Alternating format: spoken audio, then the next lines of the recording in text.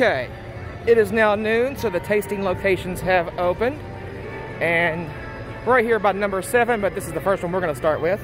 We have our trick is an El Chupacabra, uh, spicy chicken egg roll, and we have a Dulce Regalo as a treat for a churro with berry sauce. I'm getting both. Yum. All right, here we go. We got our Dulce Regalo here, the churros with the berry sauce. And we got the El Chupacabra, the um, spicy chicken egg roll. So the consensus is the El Chupacabra, the spicy chicken egg roll, was delicious. Uh, me and my wife both tried it, both loved it, fantastic, especially if you like spicy Mexican food. It's not blow out your mouth spicy, but it's got some heat to it. Kids didn't try it though. It had a bunch of sauces on it, they didn't want to touch it. Um, the cinnamon sugar churro, the Dulce Regalo, also very good. It's a little crunchy for a churro, but the berry sauce is really tart, really delicious. Nice Halloweeny dark blood color. And everyone liked it, so. I like the churros, but the berry sauce is okay for me. Okay. And I don't think the boy here, this, this wasn't his thing yet. We'll, we'll find him a treat, right? All right, well, we'll continue around and we'll hit him as we come to him.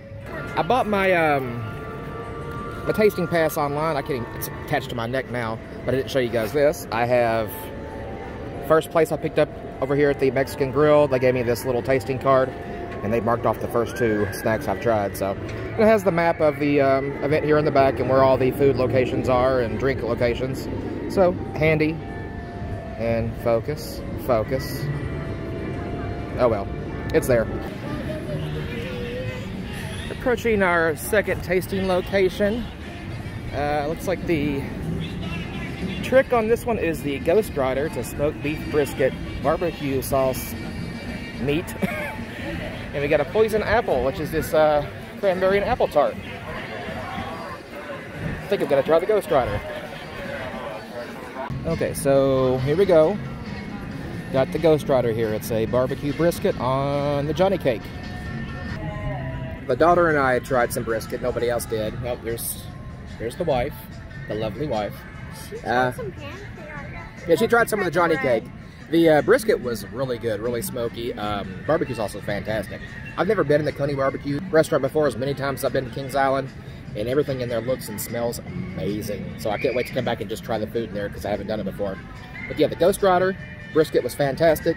Uh, Johnny Cake, eh, a little on the dense side, uh, but not bad. But brisket's worth trying. Very oniony. Very what? Oniony. I didn't taste any onions, even though I requested some onions on the side. I didn't need them though. I don't know why I requested them and didn't need them. Uh, another tasting location over here by the Jukebox Diner. This one we have the Witch's Grilled Cheese, which I think I will be having. And you have just your classic grilled cheese with your tomato soup. Uh, I'm gonna go with the, get this witch stuff though. All right, here it is, Witch's Grilled Cheese. It is a uh, pumpernickel bread with smoked Gouda and a fire roasted tomato soup, and it looks really good. And that's a pretty good portion for us for a snack size. So looking forward to this one. Okay, so that was the best grilled cheese and soup I've ever had in my entire life. No joke. And you better believe I'm gonna be trying to recreate this at home. Never thought to make grilled cheese with pumpernickel and Gouda, but that's a thing and it's good.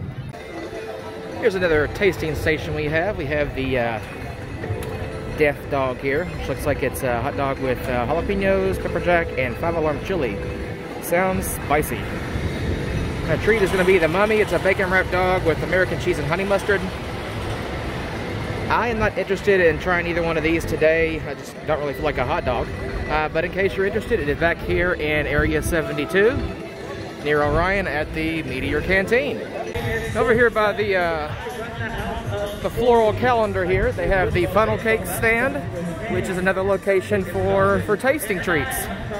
Um, we have on this one a worms and dirt funnel cake or a pumpkin spice funnel cake.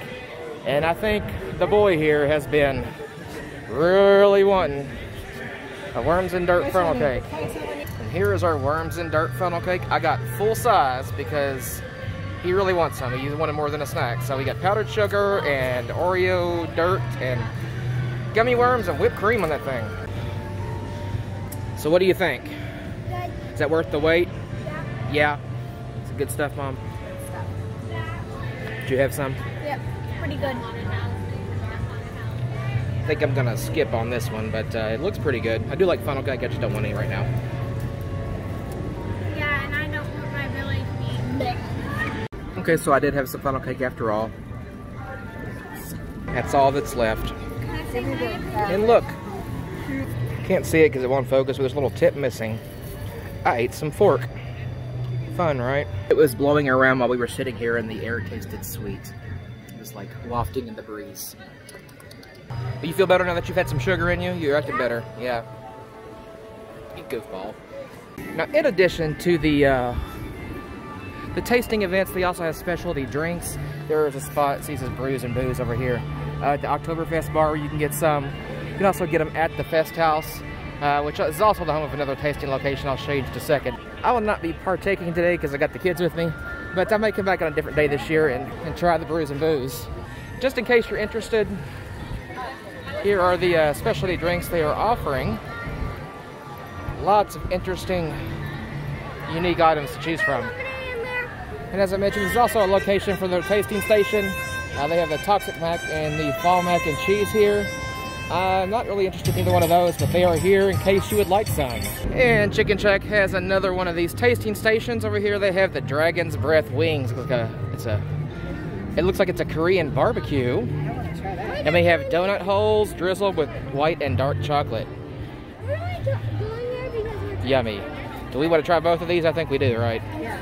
All right, here we have the Dragon's Breath Wings. This is the Korean barbecue with the sesame seeds. And we have the Pumpkin Patch donut holes with uh, chocolate drizzle. Everyone tried the Dragon's Breath Wings. First thing that everyone has tried. And um, everyone likes. So they're really crispy, they're really fresh, they're really hot. Um, not spicy hot, a little bit of spice to them, but they're, they're just really good. It's, like I said, it's Korean barbecue, so it's a little sweet, a little smoky, a little hot. It's Really good. Um, donut holes. Who's tried the donut holes? I haven't yet. I have. What'd you think? Ooh! They're I really don't- good, especially with the chocolate on them. Just pop one in my mouth. It's like a cinnamon sugar explosion. Have you ever had the, um, what are they, Cinnabon bites at Taco Bell? That's what they taste like. And those are really good too, so if you haven't tried those, try those out, but that's what those taste like. The, the last stage was actually the sharp one. How was your donut, son? And talk about the Yeah, talk about it. Tell me your opinion. Dragon's breath is really good, but it's a little bit hard to hold because it's a little bit slippery Okay. because of the sauce. So just beware. Careful. The wings are slippery. That's, That's what you said. I'm just, I'm not making fun of you. And when they have, um, like I said, they're crispy, so they have exceptional mouthfeel. Exceptional mouthfeel. Anybody get that reference? Comment if you do. And there is another tasty location right here by the Eiffel Tower at the new French Corner. Um, they have four items at this location. They have some um, Witch's Brew hot chocolate, some hot cinnamon cider, devil horns, which look like it's just croissants with uh, meats and cheeses, and some kind of um, bananas foster crepe. I'm not interested in any of those. I don't think the family is either, but it is here the French Corner in case you would like to try. Over here at the Rivertown Potato Works, we have another tasting station. We have a zombie poutine and a French Quarter poutine. Uh, one has chorizo and queso blanco on it. The other one has duck fat fries. Wow. I think we're going to have to try both of those.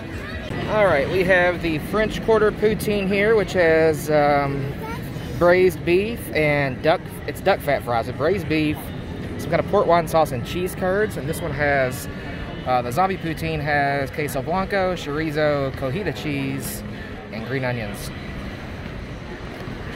Okay, well the consensus on the poutine is it's eh, it's all right. Um, I think we both everybody likes the the zombie ones better, the ones with the the chorizo and the queso blanco in it. Um, the French Quarter ones, the braised beef in it was really good, but the rest of it just kind of kind of fell flat. I'm not really a fan of, of the size of the fries. They're really, really, really large hunks of potato. I rather like my fries a little thinner and crispier. You what now? I love the size. You like the big fries? Yes. Okay. Said I think uh, chorizo's better. Boy didn't want to try any. He's begging for chicken tenders. Anyway, eh, it's all right. It depends on how much you like poutine. And the sweet spot is a tasting station. They have the El Diablo cupcake, cinnamon candies, and cayenne pepper buttercream. Wow. And they have this chocolate cupcake with a candy corn garnish, a candy corn cupcake, obviously. So I think we're going to get one of each of those, and we're going to get them to go. If anybody else knew this, but they have blue ice cream fudge over there in the corner. Not getting any of that today, but I might have to come back and try some of that some other time. smells fantastic in here. And here are our event special cupcakes here. Like I said, we're going to get one of each of those to go. I'll tell you how that is later. Okay, I'm here at a red light, guys, and um, I just wanted to give you a quick update before I forget completely. Um, we got home, we did try the the cupcakes we got to go from the uh, Fall Fest. I forget the name of them, but you, you, saw them. There was the candy corn cupcake, and then there was the um, El Diablo or something like that. But anyway, the candy corn cupcake was just a chocolate cupcake with vanilla buttercream, and the colors were just to look like candy corn, but there was no additional flavor to it. Uh, not a bad cupcake, but very basic. Um, decent, okay. And the other one, though, was better than I expected. Now, it's supposed to have that uh, cayenne buttercream and the cinnamon red hots uh, throughout and on top of the of the cupcake itself. So uh, I expected to, to blow my mouth out with the, with the cayenne pepper flavor, but it didn't. The um, cayenne was very subtle, just a little bit of heat to it. Uh, and it wasn't bad. Like I said, better than I expected. The cinnamon came through and very mild flavor, but they complement each other. It's a very different flavor that I'd never experienced before in a cupcake, and it came through nicely. Uh, it wasn't bad. And the cupcakes themselves were a little delicate, a little tender, a little dry, so they're kind of fall aparty. But um, again, the consensus here was, you know, not bad. It, unique flavors, worth trying, especially going in the sweet shop itself. They have all kinds of other treats in there to try, and it just smelled amazing. Uh, but yeah, just want to give you guys a quick update on the cupcakes we tried when we got home, just so you guys know. And now back to your regularly scheduled video. And uh, the number one tasting station, last one to us for the day. We kind of went backwards around the park, but we have the La Rosa's Pizzeria way up there. And we have the uh, fire toasted dessert flatbread. Marshmallow fluff and chocolate and raspberry. Woo And this fall harvest flatbread. I think we were going to try both. Pizza and one All right, we got the dessert flatbread pizza. Has the s'mores I with uh, marshmallow and chocolate and raspberry sauce. And then we have this uh, fall harvest, which is some kind of sausage and grilled onions or something. Looks good. Okay, well, we uh, did not save the best for last. The um, the fall harvest pizza very mild, not a lot of flavor to it. The actually, most of the flavorful thing on there was the grilled onion. So you get a bite of that. It's got a really sweet taste to it. It kind of highlights everything else. Other than that, it's kind of one note, not a lot to it. The dessert pizza, none of us really liked it. It kind of tastes weird. It kind of tastes like a knockoff Pop-Tart, if I had to give it one flavor. Um, so, yeah, try it if you want, but there's my two cents worth. Not a big fan. There are other things in the park that we tried today that are a lot better. Um, yeah, I don't like their marshmallow. trying to sit here trying to think what my favorite thing was of the tasting today. Um, my favorite, I kind of ate it by myself because they went off to ride a ride, and um, I went. They said they weren't interested, so I went and tried at the Jukebox Diner the um, Witch's grilled cheese and soup, the pumpernickel grilled cheese with Gouda, and the fire roast tomato soup. That was my absolute favorite. That was the best grilled cheese sandwich I've ever had in my entire life. Um, my least favorite, this last thing we tried, this dessert pizza over here at La Rosa's, just not a big fan. Um, like I said, if I had to give it one description, I'd say knockoff Pop-Tart. But um, yeah, everybody's tastes are different, so come out, give stuff a try, see what you like, see what you don't. Don't just take my word for it. Give it a try yourself and see what you see what you think. My favorite was still the Southwestern egg roll. South, the egg roll. Uh, yeah, the spicy uh, chicken egg roll over at uh, Hank's Mexican Grill. Do you have a least favorite? Uh, I didn't like the pizza. Yeah, getting the dessert pizza. No one's, we didn't seem to like that very much. So it's it's a consensus. So it must not be good if nobody likes it. All right, what's your favorite? My favorite was the dragon's breath. Really, the the dragon breath wings? Okay. Uh, well, both the donuts and the dragon. Uh, so everything over there at the Chicken Shack was your favorite. Yeah, so the sweet and the, you know, like, Yeah, I also enjoyed the Chicken Shack stuff. It didn't make my favorites list, but it's right up there. It was a good stuff over there. Son, did you have a favorite today of the food tasting treats we tried? Now, you didn't try as much of them as we did. You're not as adventurous an eater. dragon, dragon wings. You like the Dragon's Breath wings too? So yeah, everybody was a fan of the Chicken Shack. We everybody tried everything over there. We all liked everything, and my pizza is flying away. Uh, yeah, we all liked Chicken Shack's a good spot. So if nothing else, try the Chicken Shack and go get some grilled cheese and tomato soup. I, I cannot recommend that enough. So, I've been in the park many times. I don't usually eat a whole lot when I'm here. I like the big pretzel over at the um, the brew house, and I will, you know, partake in the blue ice cream whenever I get the chance. But other than that, I'm not really a theme park food person. But that being said, everything we've tried today, eh, just about, has been fantastic. Um, I don't know if this is just for the fall event or if Kings Island's normal cooking procedure is this good, but it's well worth coming out and trying this stuff. It, it was all hot, it was all fresh, it all had unique flavors. It didn't have that manufactured, mass-produced kind of, you know, feel you get from normal theme park food. So the tasting event, it's a great event to come out and, and check it out, especially if you're a little bit of a foodie or you just like to snack a lot or you like theme park food. Or if you don't like theme park food, this is a good place to get your feet wet and come in and give it a try. So, um, yeah, we tried a whole lot today. Showed you everything else in the park that we didn't try, so you know what you, you'd like and what you wouldn't when you come out and give it a try yourself. So come out, give it a try. There's a lot of stuff, a lot of unique flavors for um, every individual taste. So hope it helps.